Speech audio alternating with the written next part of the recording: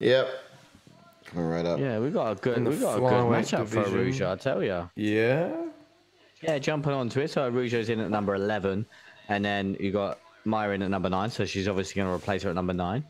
And then two spots above her, you got Lauren Murphy. Uh, I think that's a fight to make, I think.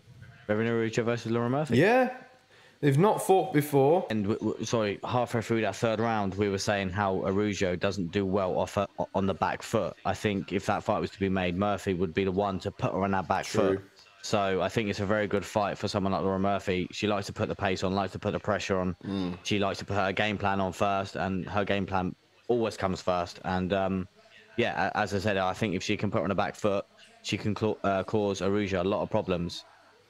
And also, we saw a little bit of control there from my uh, in that third round, and Lauren Murphy's very good at getting the takedown and holding you there as well. Yeah, and I think Lauren Murphy's strongest um, discipline is uh, jujitsu. I think. I think it was her first discipline. She kind of fell in love with it.